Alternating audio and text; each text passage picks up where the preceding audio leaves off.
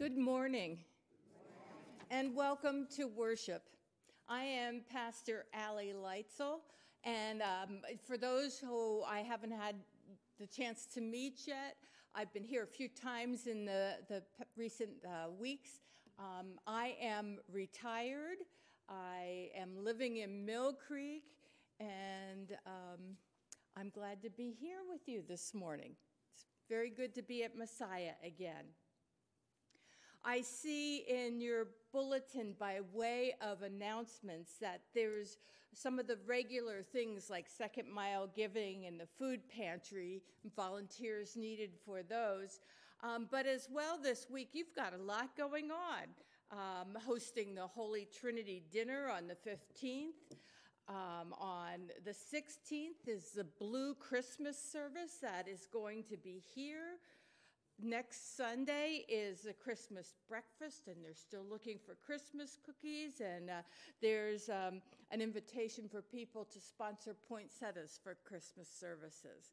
So please look at what's going on in your bulletin and respond as you're interested and as you're able.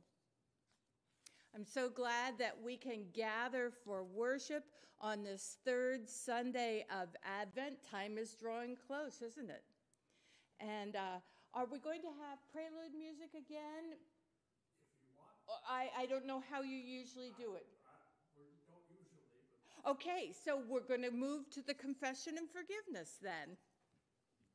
I invite you to stand or kneel as you prefer. We are gathered in the name of the Father, and of the Son, and of the Holy Spirit. Let us confess our sin and confess them to the one who is merciful and just and God of new beginnings. We confess that we have not welcomed your holy reign. Purify us with your refining fire and set us again on your way of love that we may bear fruit worthy of repentance and welcome your coming among us. Amen. Rejoice in the way of the Lord. By water and spirit, we are joined together as something new. Let Christ's love wash away our sins. In the name of the Father, and of the Son, and of the Holy Spirit.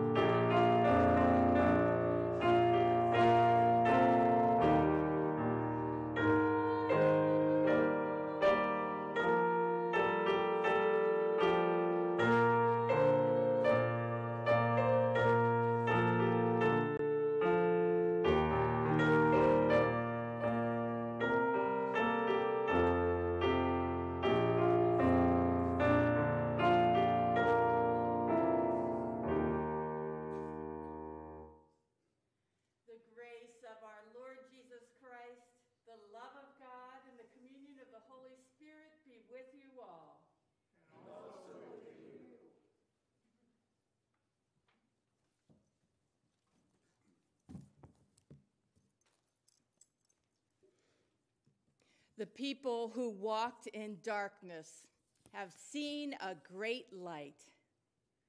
Those who lived in a land of deep darkness, on them light has shined. Week by week, the light grows stronger and brighter as we anticipate the second coming of Christ. The candles of hope and peace are already ablaze. Today we light the candle of joy. We excitedly anticipate the second coming of the Mighty One. The promise of healing, comfort, liberty, and freedom is good news that is meant to be shared. Rejoicing in the mercy and justice of our Lord, we kindle this flame. Together we lift our hearts and our voices in songs of joy.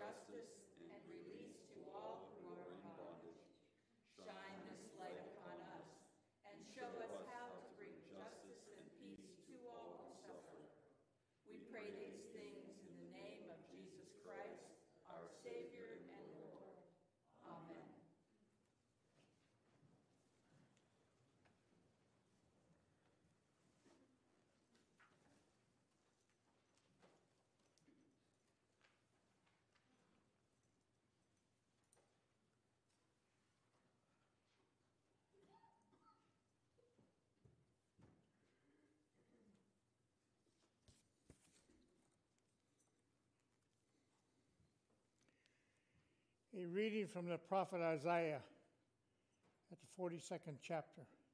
Here is my servant, whom I uphold, my chosen, in whom my soul delights. I have put my spirit upon him.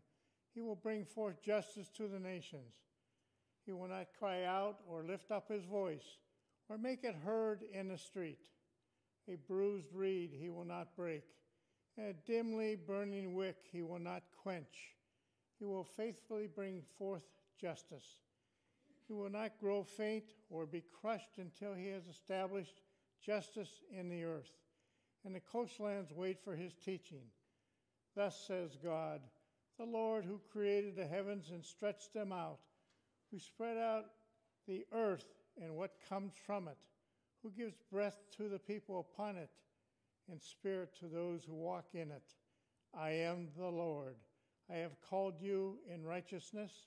I have taken you by the hand and kept you. I have given you as a covenant to the people, a light to the nations. Open the eyes that are blind, to bring out the prisoners from the dungeon, from the prison who sit in darkness. I am the Lord. This is my name. My glory I give to no other, nor my praise to idols. See, the former kings have come to pass, and new things I now declare. Before they spring, I tell you of them. The word of the Lord. Thanks. Thanks.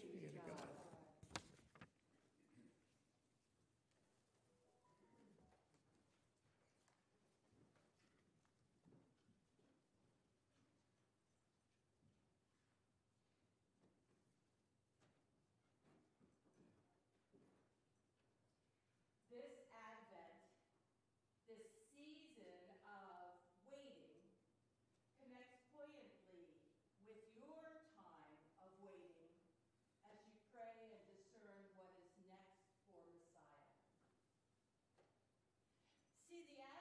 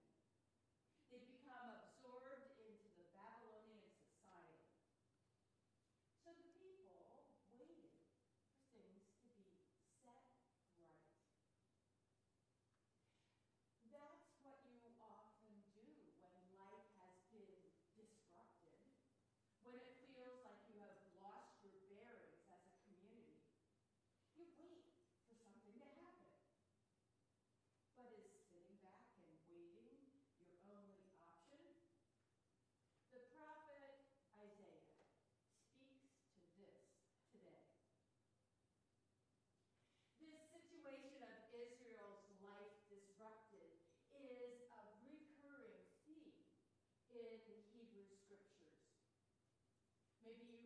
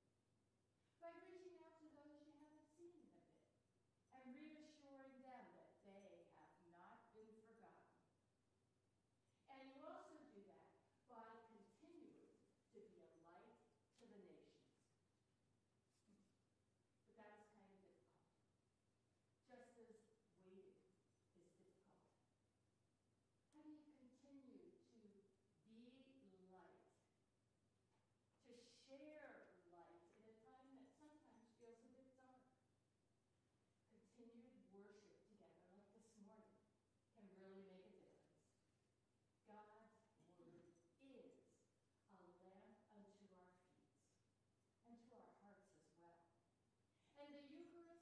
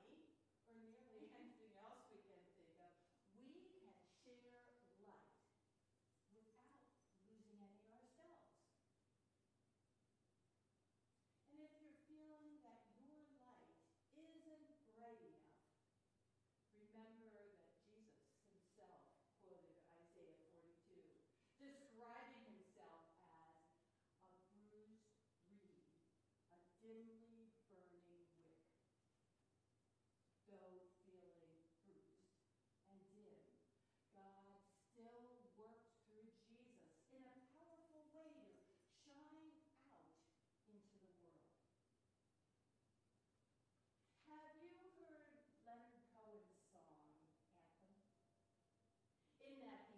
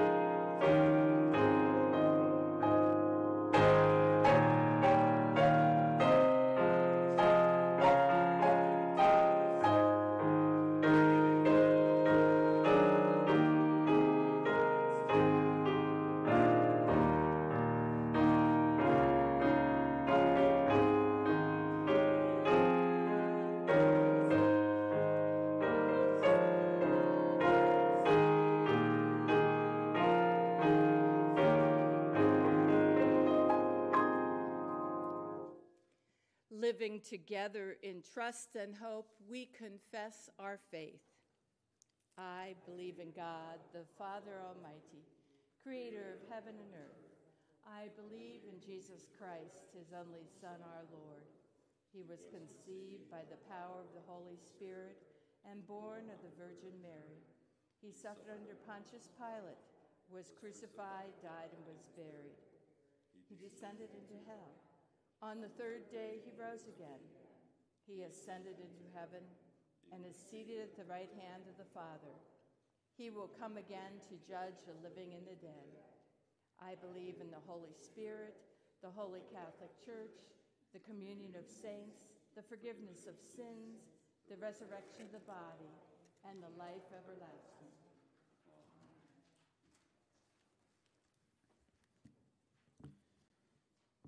As we prepare for the fullness of Christ's presence, let us pray for a world that yearns for a new hope. We rejoice in the gifts of your Spirit. Equip the global church to magnify your love and peace in every land. God, in your mercy, revive lands we have squandered and depleted.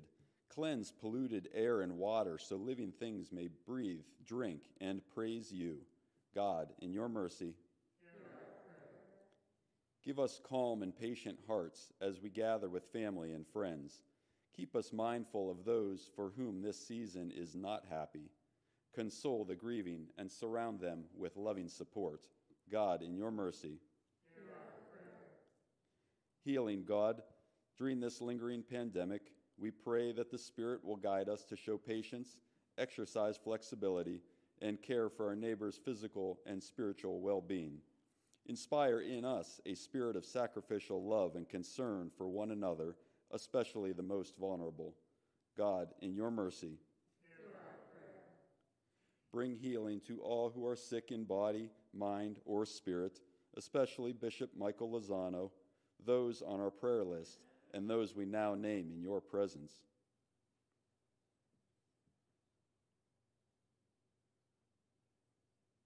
Comfort and bring us strength through the difficult times.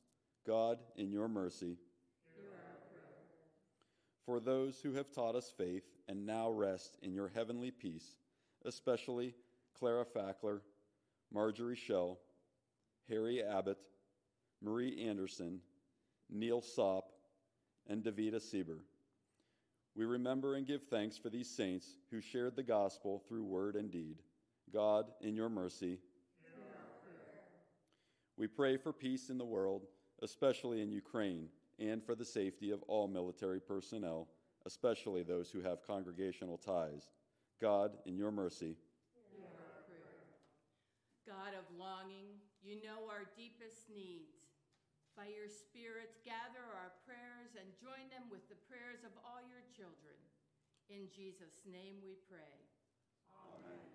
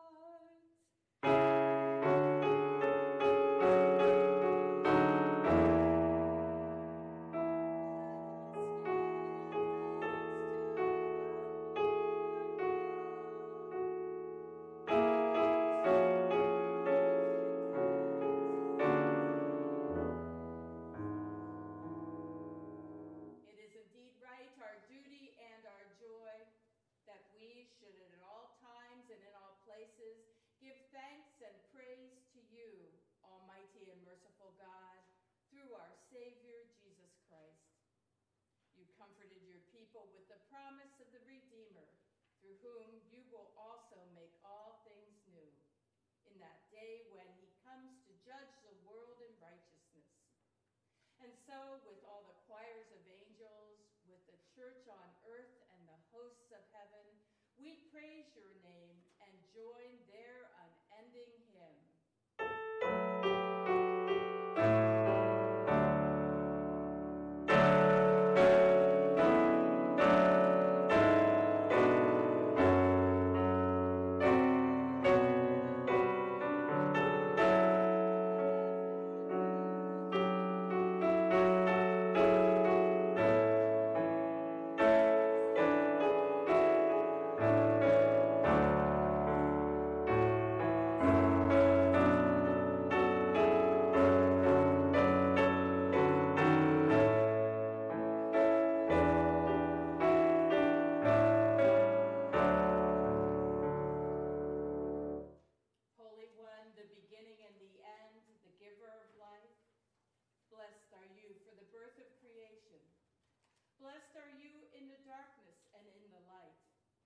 Blessed are you for your promise to your people. Blessed are you in the prophet's hopes and dreams. Blessed are you for Mary's openness to your will. Blessed are you for your Son, Jesus, the Word made flesh. In the night in which he was betrayed, our Lord Jesus took bread and gave thanks and broke it and gave it to his disciples, saying, Take and eat. This is my body given for you. Do this for the remembrance of me.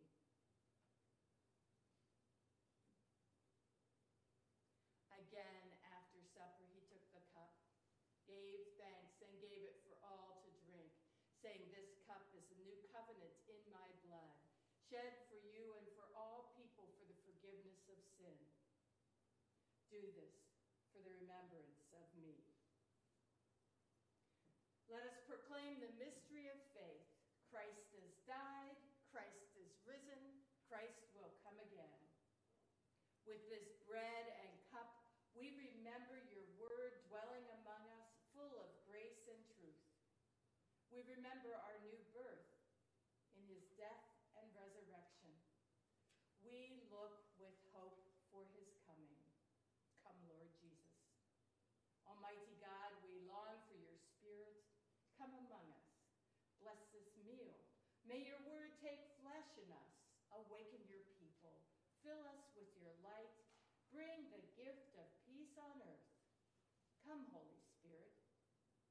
All praise and glory are yours, Holy One of Israel, Word of God incarnate, power of the Most High, one God, now and forever. Amen. Amen. Gathered into one by the Holy Spirit, let us pray as Jesus taught us. Our Father, who art in heaven, hallowed be thy name. Thy kingdom come, thy will be done on earth as it is in heaven. Give us this day our daily bread, and forgive us our trespasses, as we forgive those who trespass against us. And lead us not into temptation, but deliver us from evil. For thine is the kingdom, and the power, and the glory, forever and ever. Amen. Be strong, do not fear. Here is our God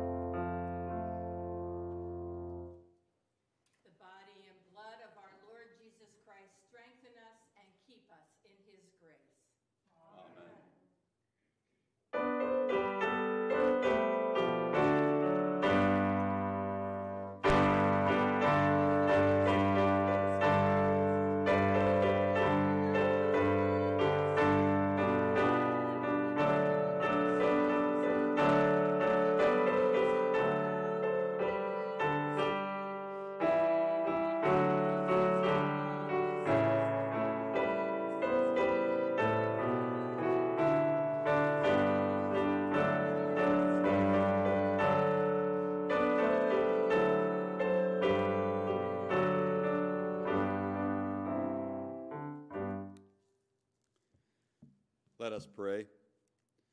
Faithful God, as we wait for the day when all your promises will be fulfilled, sustain, strengthen, and guide us toward your promised future, coming to birth in Jesus Christ, our Savior and Lord.